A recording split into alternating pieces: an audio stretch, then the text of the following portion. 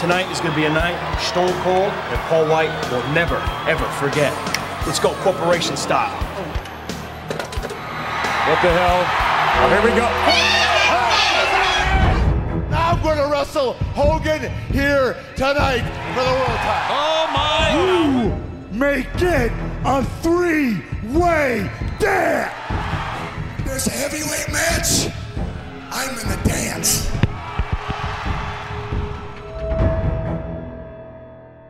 You want a war?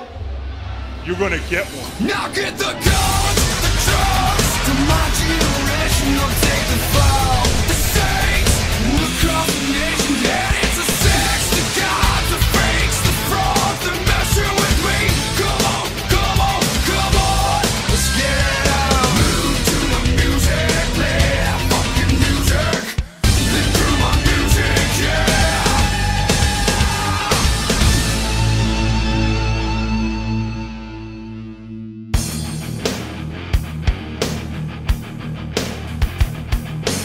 Welcome back to Reliving the War. Welcome to April 5th, 1999, and welcome to a new era for World Championship Wrestling. Tonight we've got Nitro live from Las Vegas, Nevada, while WWF Raw comes from Long Island, New York. They say what happens in Vegas stays in Vegas, and this new Nitro set should have stayed in Vegas because all it does is give me horrible flashbacks. I kinda associate this set and the next Nitro set with the bad times. It reminds me of WCW at their very worst. But if there's one thing this series made me realise, it's that we tend to remember things that happened 25 years ago a lot differently. It's my hope we still find some hidden classics within this era of Monday Nitro, so let's start at the very beginning and take a look for ourselves. We now have a two man commentary team of Tony Schiavone and Bobby Heenan, and it also looks like Schiavone's updated his hairstyle to go along with this new Nitro set. Both look absolutely shit. Mike Tenay will join the commentary team for the final 30 minutes or so, by the way, but it appears that Larry Zbyszko will no longer be part of the Nitro broadcast team moving forward. Bill Goldberg's walking around with a lottery tumbler, a hopper. Yeah, he's got one of those and he's walking around backstage looking all angry. He comes out for an interview with Mean Gene Okerlund, and Billy Boy says back at Starcade he was on the receiving end of the ultimate screw job. Only in pro wrestling would that statement be acceptable. Goldberg says he's taking matters into his own hands. He's to hold the Goldberg lottery tonight, and whoever's name gets selected will be Goldberg's next victim. Looks like we're completely ignoring that Bret Hart spear from last week. Kevin Nash comes out and Big Sexy says people won't be talking about Bill in 10 years' time. They'll be talking about the guy who ended Goldberg's streak. Goldberg says Kevin's living in the past, and to prove Goldberg wrong, Big Kev tells Bill to forget his little lottery because at Spring Stampede this week, Bill Goldberg's to face Kevin Nash. Goldberg accepts this match, so we're to see Nash versus Goldberg 2 at the pay per view this week. Just another quick reminder here that Spring Stampede's going to go live on my channel on the 26th of December. This Sunday, I've got a Christmas special to look at, and by God, you're going to join me. Ric Flair tells Arn Anderson to go and sort this out. It appears that Ric didn't know Nash was going to challenge Goldberg. Back in the ring, we've got the first Nitro match of this new era Hardcore Hak versus Kendall Windham. And Tony Schiavone just had to let every fan know watching at home that he really likes chastity schoolgirl attire. The man had absolutely no shame. Fans chanting boring during a hardcore match is never a good sign, and fans laughing at Hak taking this bump right here isn't a good sign either. The audience got into it a bit more when Hak used his kendo stick, but overall the match wasn't good. Hak won via pinfall after performing a Russian leg sweep. The next match saw Konnan take on Lizmark Jr., and while the outcome was predictable, the in ring action was a lot better. Lizmark Jr. made one too many mistakes, and Konnan was able to capitalise. The rolling clothesline, followed by a tequila sunrise, was enough to give K Dog the victory. Hype videos were also played for Meng and Scotty Steiner. These two are going to face each other very soon in a US title tournament semi final match, and it's going to be awesome. Nitro continues on with some backstage shenanigans, while over on Raw we've got X Pac and Kane versus Owen Hart and Jeff Jarrett. X Pac and Kane have been wronged by Triple H in China, so these two are going to join forces to try to take out the former leader of D Generation X and his bodyguard, valet, girlfriend, whatever. I mentioned last week that Triple H vs X Pac should have been saved for the pay per view, and even though Pac vs Hunter is announced here for Backlash, it doesn't change how I felt last week. A promo from Triple H would have worked a lot better, and the Raw main event shouldn't have happened. The tag champs issued an open challenge on Sunday Night Heat, X Pac and Kane accepted, and while X Pac did do well against both Owen and Jeff in the early going, it quickly goes downhill for the former European champion. As the tag team champions continue to single out X Pac, we learn that The Rock and Steve Austin are going to face each other again at the Backlash pay per view. We think Kane's getting that all important hot tag when he breaks free from a Jeff Jarrett sleeper, but Owen gets tagged in first and Pac continues to struggle in this Raw opening match.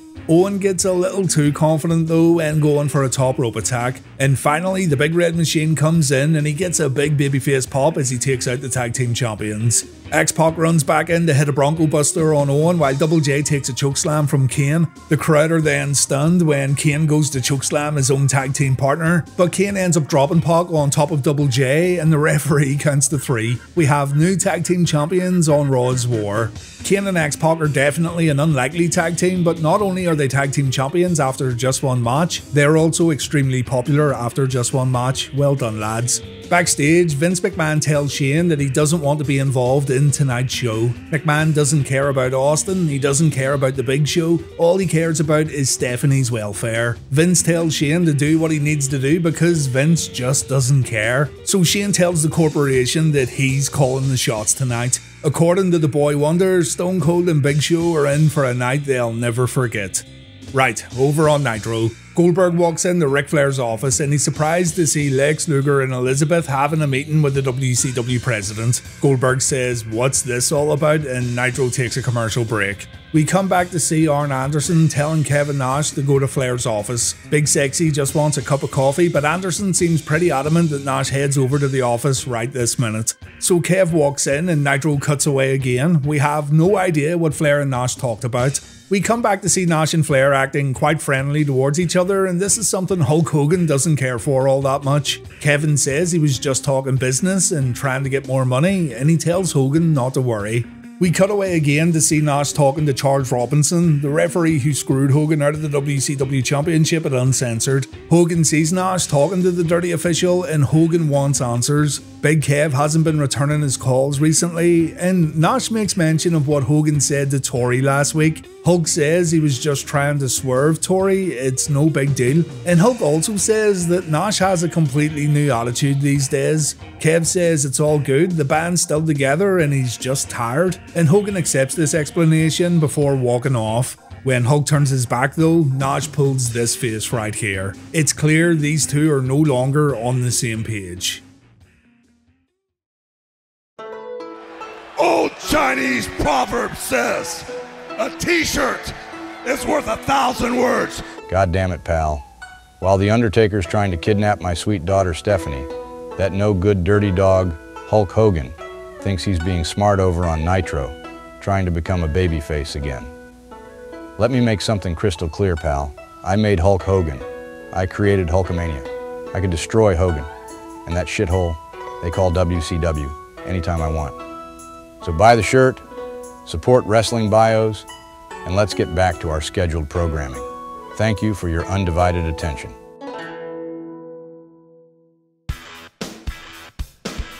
We've got a corporation promo over on Raw next, while Ric Flair talks about Spring Stampede on Nitro. Shane shows everyone a replay from Raw last week. It's Austin and the Big Show beating up the corporation after the main event. Shane wants to make Big Show pay for his crimes, so tonight the big man gets put in a 2 on 1 match Big Show versus Triple H and The Rock. Rock and Hunter were once bitter enemies, but while working for Vince McMahon's corporation, the two are going to join forces. Hunter says the fans have wanted to see this tag team, it's going to happen tonight on Raw, and he also says the Big Show has a whole lot of big fat hairy ass for the corporation to kick. Not an image I appreciate being in my head right now.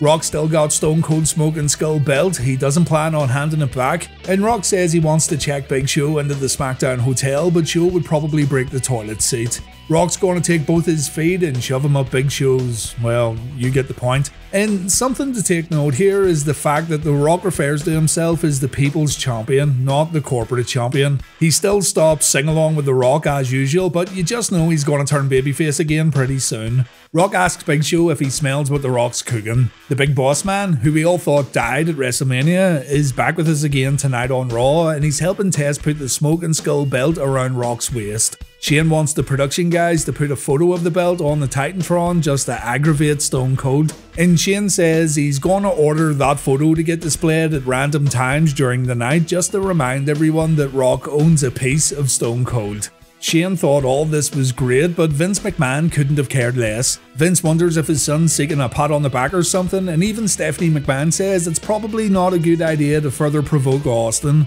Vince tells Shane to chill out, and Shane looks a little disappointed. On Nitro, Ric Flair thinks Kevin Nash versus Goldberg at Spring Stampede's a wonderful idea. He praises Big Sexy for taking the initiative and challenging Goldberg at the pay per view. And Flair wants to put Nash versus Goldberg in the main event spot at the big show in Tacoma this weekend. Ric reveals that the original plan was to have another Hogan versus Flair main event at the pay per view, but seeing as the plans have changed, Ric wants to give Hogan his title shot tonight on Monday Nitro. Hollywood runs down to the ring and he goes to smack Flair with his weight belt. Hogan gladly accepts this title shot tonight on Nitro, and Flair says he'll take the opportunity away from Hulk if Wood from the Hood lays a hand on him before the main event. Hogan says the world belt was created for him. It was Hogan who made the belt relevant. Okay, Hulk.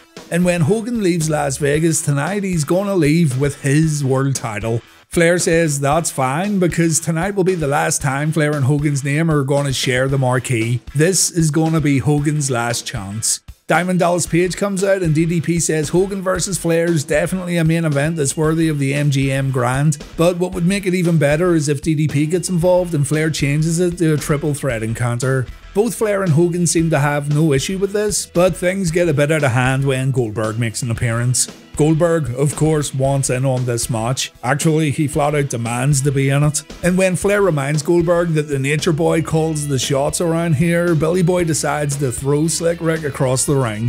Flair ends up leaving, but before he walks back through the curtain, he tells a kid in the audience to shut up and he also accepts this four way match tonight in the Nitro main event. Flair versus Hogan versus DDP versus Goldberg. Hogan and Goldberg then make a pact to take out Flair and DDP during this main event match. Hogan believes this match should come down to himself and Billy Boy, so we'll see how this all plays out at the end of Nitro tonight.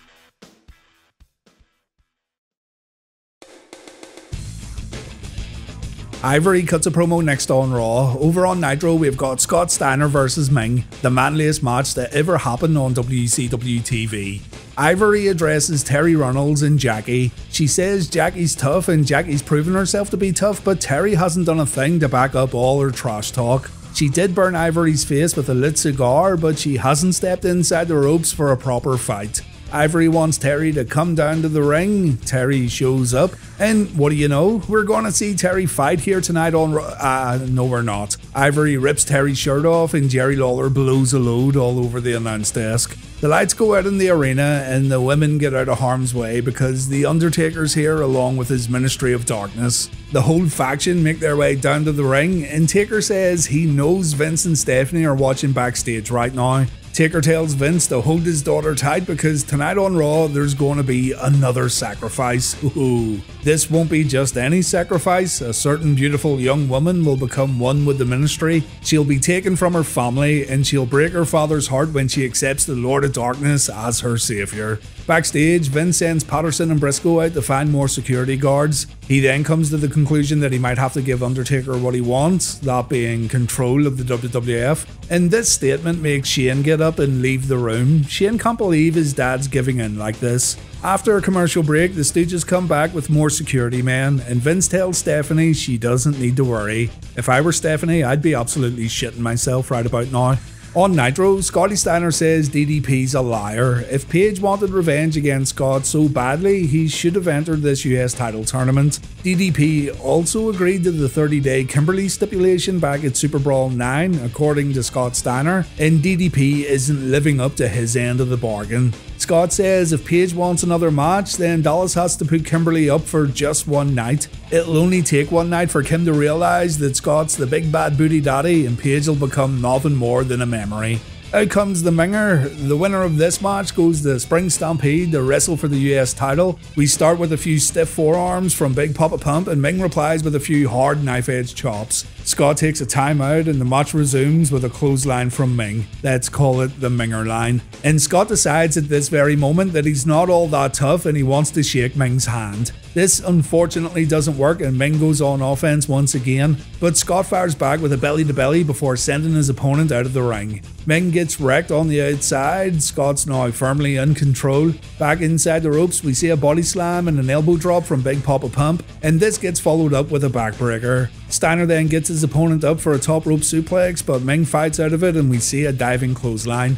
We then see more hard chops from Meng, followed by more Minger lines. Scotty takes a sidewalk slam, and here we go. It's time for the Tongan death grip. Scott gets out of this deadly hold by performing a low blow. Low blows must be completely legal now in WCW. Big Papa Pump pulls off an overhead belly to belly suplex, and even though Meng clearly has a foot on the bottom rope, Scott Steiner still wins the match via pinfall. I was probably expecting more here, but I still feel about 70% more manly after watching this contest. On Thunder this past week, the man called Sting got advertised for this week's episode of Nitro. Apparently, Sting has a message for fans of WCW, and the commentators believe they spotted Sting in the rafters, but it's just some random dude who walks around the arena wearing a long leather jacket. Hardcore Holly versus Al Snow's our next match on Raw. Over on Nitro, Hacksaw Jim Duggan wrestles Lenny Lane. The Raw match is not for the Hardcore Championship, nor is it a hardcore match. The referee has to stop Sparky Plug from using the steel chair, but he was still able to pull off this very impressive dropkick back inside the ropes. Al took a vertical suplex, he replied with a flying crossbody. Hardcore Holly comes back with a swinging neckbreaker, but Bob was simply outperformed in this matchup. It ends when Al hits a snowplow on the Hardcore champion, so you'd assume Mr. Snow would now be first in line to receive a Hardcore title shot. Steve Williams comes down after the final bell to suplex both competitors. JR cheers his boy on while Steve dishes out some punishment, and the crowd didn't take too kindly to Dr. Death showing up at all. Back in the production truck, Shane McMahon orders the producers to show Austin Smoking Skull belt on the Titantron. He thinks he's being smart, but he's really coming across as a complete jackass. And check this out Christian's getting punished by The Undertaker for giving away Stephanie's location last week on Raw. I could be wrong here, but it looks like Edge isn't too comfortable with this, seeing as his BFF's taken quite the whipping from the Lord of Darkness. So, we've got the in ring return of Hacksaw Jim Duggan over on Nitro. Hacksaw got diagnosed with kidney cancer around 8 months ago, but he got the all clear and he's coming back to work tonight in Las Vegas. Old Hacksaw's had quite a lot of health issues, but the guy has an unbeatable spirit that I don't think gets celebrated enough. Hacksaw Jim Duggan's the fucking man. He wipes Lenny out with a few punches and the crowd chant USA following a double axe handle. Lenny thinks going to the outside might be a good idea, but Duggan stays firmly in control, and the commentators learn that they're now in the danger zone while sitting at ringside. I wonder if Schiavone and company preferred sitting up by the stage. Hacksaw lays in a few punches, Lane takes a clothesline, Duggan gets back to business with a devastating chin lock before moving over to a hammerlock, and Lenny then gets suplexed. Complete domination from Hacksaw.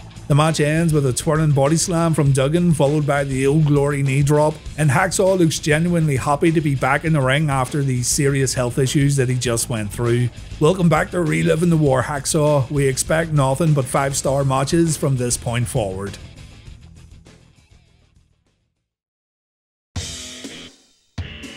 The New Age Outlaws take on the Brood next on Raw, while the NWO take part in a battle royal over on Nitro. Christian did not come to the ring with Edge and Gangrel for this tag team match. The poor guy's back must be tore up pretty badly. We started off with Billy Gunn and Gangrel in the ring, and Billy floored his opponent with this dropkick right here. And then we just go into the standard New Age Outlaws tag team routine with Rody getting singled out and Billy begging for a hot tag. I know I say this as a negative, and indeed, when you're paying close attention and taking notes on these matches, you do notice things like this that you maybe didn't notice before. But it's hard to argue the results as the crowd go absolutely nuts when Road Dogg finally tags in his partner. If it ain't broke, don't fix it.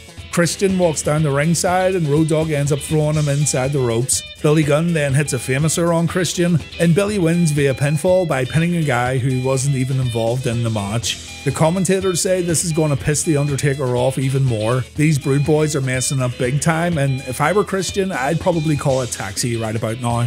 On Thunder this past week, Hogan admitted to stirring the pot within the NWO Black and White, but he only did it to see who had what it really takes to lead the group. Everyone passed with flying colours apparently, so tonight on Nitro, the true leader of the group will finally be decided after a good old fashioned battle royal. Last man standing becomes the leader of the NWO Black and White.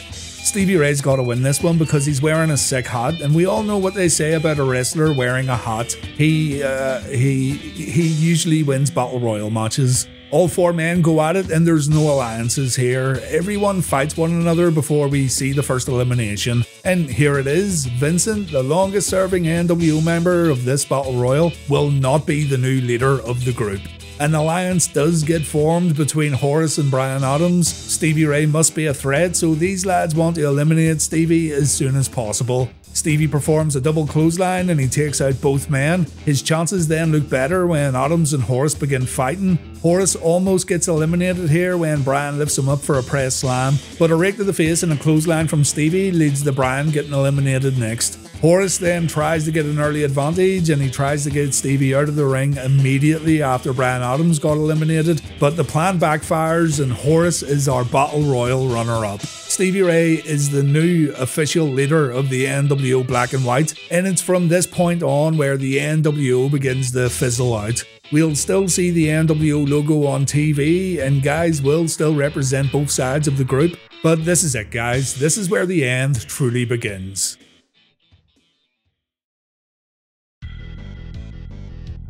JR interviews Steve Austin, and JR wants to know why the Smoking Skull belt means so much to Stone Cold. Austin says he uses the belt as a way to piss Vince McMahon off, and Austin also says if the corporation want to keep provoking him, then it's gonna cost Vince McMahon a lot of money. More on this later on. Saturn and Raven take on Kidman and Rey Mysterio next on Nitro. On Raw, we've got Shamrock versus Viscera and Mankind versus Val Venis. I was able to squeeze in two Raw matches here because the Shamrock versus Viscera match was really short. Shamrock runs into the ring and he lights Big Vis up with multiple punches and kicks. Viscera fights back and he's able to perform a fallen power slam. Shamrock kicks out of the follow up cover and he stupidly goes for a body slam. This doesn't work out, of course, and Viscera goes back on offense briefly. Though a missed corner attack lets Kenny Boy throw more punches at his opponent. Ken hits an impressive belly to belly, the lights then go out and the Undertaker's music plays. Ken gets attacked by the whole Ministry of Darkness, including Christian, and the Undertaker watches all this go down while standing at the entranceway. The Ministry end up carrying Shamrock out of the arena while Shane McMahon tells the corporation not to take action. Shane reasons that this is likely a trap and there's nothing the corporation can do right now. So Ken gets carried into the Ministry's sweet ride and Ken Shamrock has been abducted. This wouldn't have happened if Kenny Boy stayed in the Motherfuck Dojo, by the way. Mick Foley then took on Val Venis in our next Raw match, and Mick says he just made the cover of Newsday in New York City. Val Venis cares not for this accomplishment, so the match gets underway and Venis gets knocked out of the ring. Mankind lets Venis get back inside the ropes, but Venis isn't so gracious when he attacks Mick in the corner. Jerry Lawler and Michael Cole then talk about a recent ESPN documentary that looked into the world of pro wrestling recently, and Jerry Lawler says it was nothing more than a hatchet job. The King says WWF Raw has been destroying Monday Night Football recently, and this is why ESPN and parent company ABC released the documentary. I'm going to cover the documentary soon on the channel, by the way, so please subscribe if you want to see what it's all about. I've never watched it myself, so I'm pretty curious about it. About this special with Vince McMahon gets advertised in the middle of this match, Vince was apparently going to go after ESPN and ABC on this program. Meanwhile, we've got Mick Foley reversing a suplex, and it's now time to go into the match finish.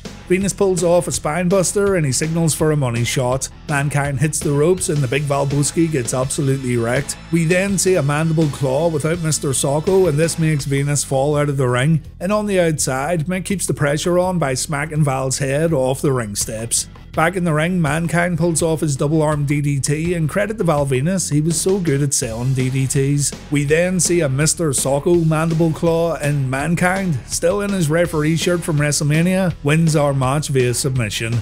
Backstage, the lights begin to flicker in Vince McMahon's dressing room. This freaks Vince and Stephanie out quite a bit, and we also see the Ministry of Darkness having a team meeting. It's spooky stuff.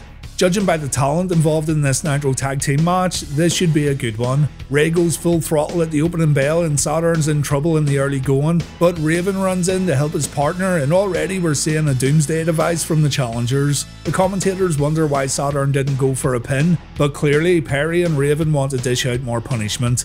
Already Rey's desperate to tag out and he gets a chance to do so when Saturn misses a leg drop. Kidman comes in hitting both Raven and Saturn with drop kicks. Perry then takes a double underhook facebuster while Raven takes a tornado DDT. And the tag champions then pull off tandem aerial attacks that get the crowd all fired up.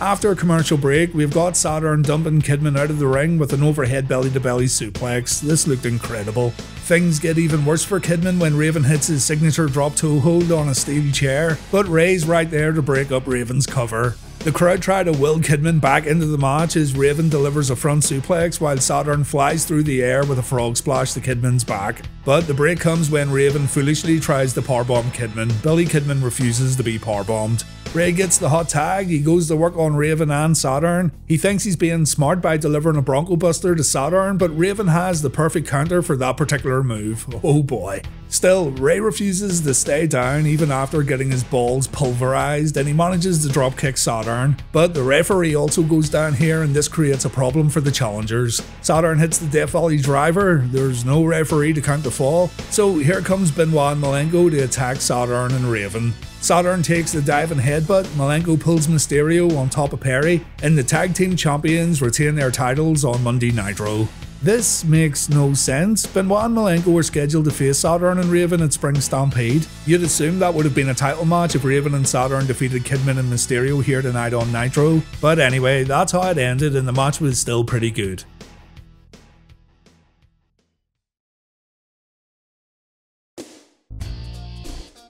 The Godfather wrestles Goldust next on Raw. On Nitro, it's Chris Jericho versus Booker T. Goldust gets offered one of the Godfather's creatures, but because he literally sniffed one of the hoes, Godfather decided to beat the shit out of Goldust instead. Godfather goes to work on the IC champion, and in the middle of the match, Dustin went out for another sneaky sniff. He just really likes the smell of hookers, I guess. But Godfather makes Goldust pay with a big boot followed by a back suplex. Goldust then gets a ride on the Ho train just before Godfather goes out to attack the Blue Meanie, and this one ends in a countout when neither man makes it back inside the ropes in good time. The creatures try to attack Meanie while Godfather's busy with Goldust, and that's it really. Absolute garbage and a complete waste of TV time.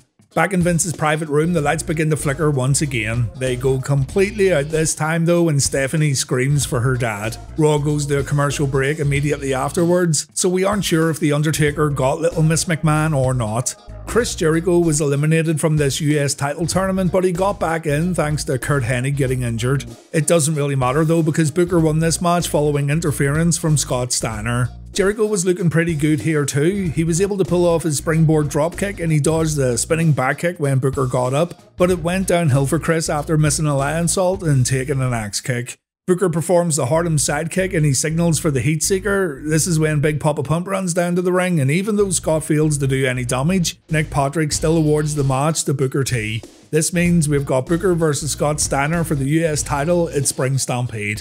Say goodbye to Chris Jericho though, this is his final televised match in WCW. He wasn't done with the company, but he did tell WCW he wasn't signing a new contract and Bischoff decided to take him off TV. Chris was then forced to lose every single one of his house show matches up until July 99, but don't worry, we'll be seeing the Ayatollah again very soon. Although things ended badly for Chris in WCW, the company did give him a platform to show what he was capable of. It's a big loss for World Championship Wrestling, but at the same time, the company didn't really understand how good he was.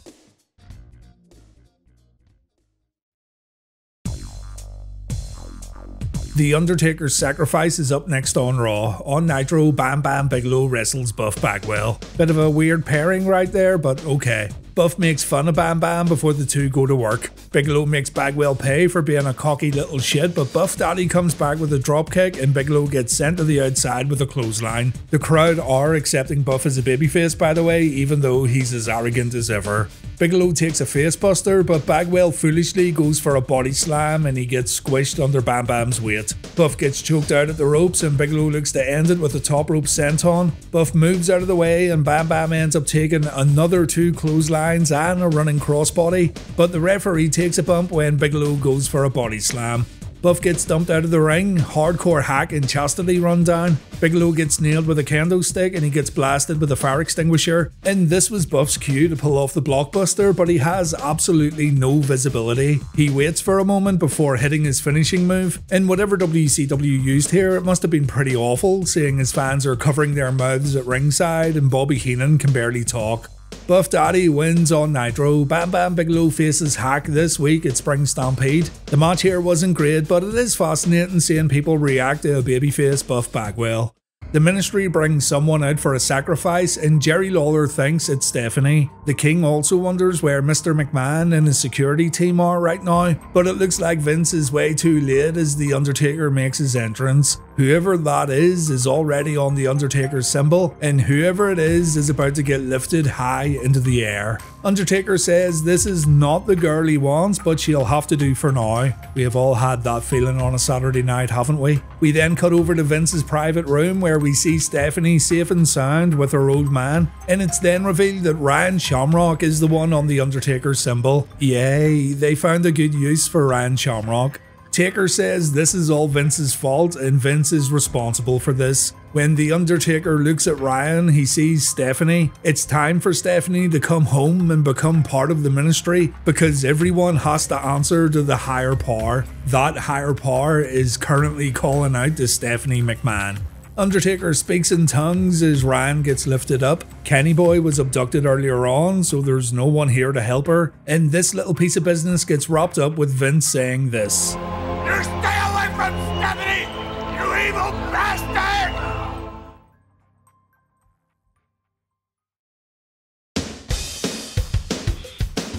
Raw ends this week with Rock and Triple H versus Big Show in a 2 on 1 handicap match. On Nitro, it's the four way match featuring Flair, Hogan, DDP, and Bill Goldberg. There's not much of a match to speak of here on Raw, unfortunately. Most of the time gets taken up with promos and post match tomfoolery. On Sunday Night Heat, Triple H said he owns D-Generation X, he was responsible for the creation of DX, and that means he's going to come down to the ring wearing a DX shirt while using the DX song as his entrance music. He tells the quote Nimrods in the audience, you can all suck it just before The Rock comes out, and once again, the fans can't help but to join in on The Rock's catchphrases. You're Rudy!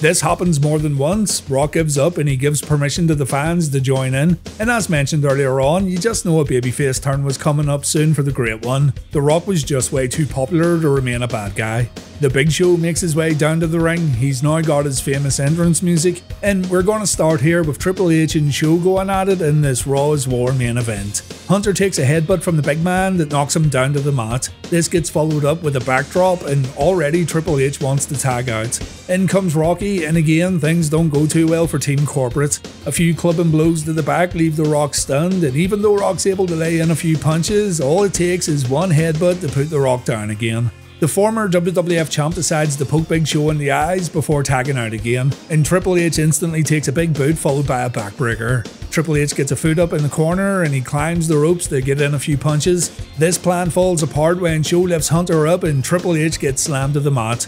Shane jumps on the apron and Chyna grabs Show by the leg, but this only leads to a very short advantage for the corporation. Hunter and Rock are really struggling here against this giant. When Show goes to chokeslam Rock, Chyna runs in for a low blow. The crowd boos as the ref calls for the bell, and now the Big Show has to fight off Rock, Hunter, Chyna, and Shane McMahon. The numbers are too much here, and Show gets floored when Rock uses the Smoking Skull belt as a weapon. The Great One even hits a corporate elbow on Big Show while the crowd chant for Austin. Stone Cold then makes an appearance, and the crowd naturally lose their shit. And while Austin's able to take care of the corporation, he's unable to reclaim his property. Hunter ends up taking a stunner and a chokeslam, but Rock gets out of the ring and Shane hands him the Smoking Skull belt. Shane wants the belt put up on the Titantron again. He tells Austin that this is a reminder that Rock owns a piece of the rattlesnake. So Stone Cold decides to make good on his promise and cost Vince a whole lot of money. He and Show head up the ramp. Stone Cold tells the big man to pull the Titantron down. And this would have been pretty awesome had it not been for the piped in sound effects the production guys decided to use as the screen gets lowered. Austin then rips the screen to pieces just before Raw goes off the air, and it's kinda weird how this moment never gets replayed when WWE talk about famous moments in Raw history. The Zamboni and beer truck always get brought up, but I thought this was pretty cool too. Kevin Nash joins the WCW commentary team for this four way main event. All four men will be in the ring at the same time. The first one to score a fall wins the match. DDP and Goldberg fall out of the ring while Hollywood and Flair go to work. The world champ takes a backdrop and a few clotheslines, and after hulking up, Hollywood's able to hit the big boot and the big leg drop. The cameras totally missed the leg drop, by the way. DDP breaks up the cover, and we can see Page has been busted open as he suplexes Hollywood in the ring. On the outside, we've got Goldberg no selling a few Ric Flair chops, and Ric gets sent back into the ring with a press slam from Billy Boy. The alliance between Hogan and Goldberg turns out to be short lived as the two fight it out on the entranceway. This gives DDP the opportunity to hit Flair with a diamond cutter, and Page almost won the match here. Goldberg pulls Dallas out of the ring while Hogan goes back in. Flair gets launched off the top rope and he almost didn't make it either. It's a bump Ric's took so many times, so I've no idea what happened here. Hogan then whips the Nature Boy a few times and he threatens to hit Charles Robinson too, but Rick replies with a low blow, so I guess that makes it even. DDP and Goldberg then get in the ring and the competitors switch it up a little. Hogan completely forgets he's in a fatal four way and he walks away from Flair as the figure four gets applied to DDP. When Goldberg attacks Flair, Hogan's like, oh yeah, and he helps Bill break the hold. And Hogan then refocuses his efforts by delivering a back suplex to Goldberg while DDP and Flair fight on the outside. All four men end up brawling around the ring. Hogan and Flair fight beside the commentary table as Nash looks on. Back in the ring, DDP takes a power slam from Goldberg, and gotta say, this match has been pretty good so far. The match ends with Goldberg spearing everyone, not even joking. You get a spear, you get a spear, everyone gets a spear. Hogan then gets jackhammered and Nash doesn't make it to the ring in time to break the cover, so Hogan ends up kicking out of the most feared move in all of WCW, not including the deadly chinlock. Sting said he'd be here with a message tonight, and there he is. This match is officially over, but the fans don't care. They're going absolutely nuts for the Stinger, and yeah, it's always good to see the icon. Sting gets in the ring, he points to one of the big screens in the arena, and a video plays that explains the Spring Stampede main event.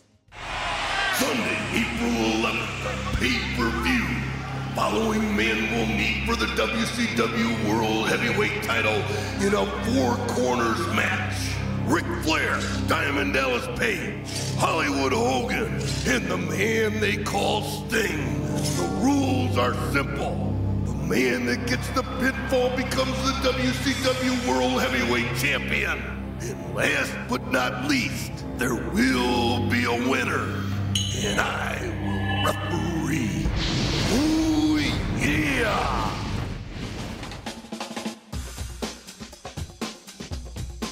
Raw wins reliving the war this week, but it was very close. Nitro had a better main event, and the in ring action overall was generally better too. But the WWF produced a much more fun and entertaining show thanks to their ongoing storylines. The stuff with Undertaker scaring the shit out of the McMahons is good. Shane beginning to distance himself from Vince is interesting. Rock holding Austin's championship belt is a great way to keep the feud going. There's a lot to like about WWF right now post WrestleMania 15. Nitro wasn't bad. You will find better in ring action on the WCW side this week, but we still aren't getting good stories in WCW, and it does hurt the show overall.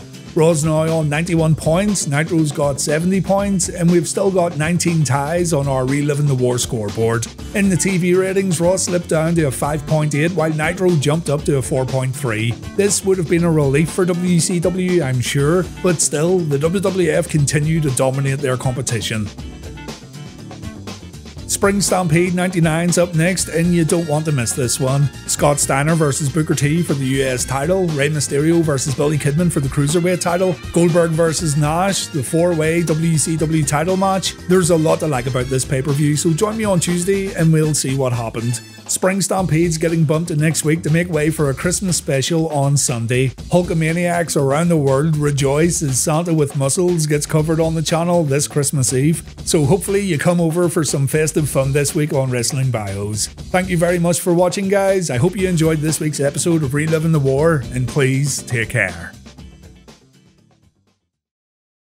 Do you smell what The Rock is cooking?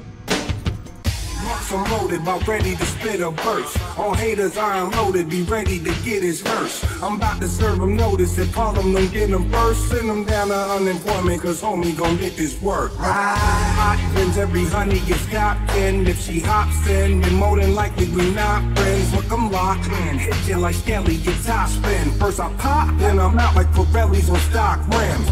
50 years, call me Ferrari, call me New York. My alias, my name changed, now I ain't playing games.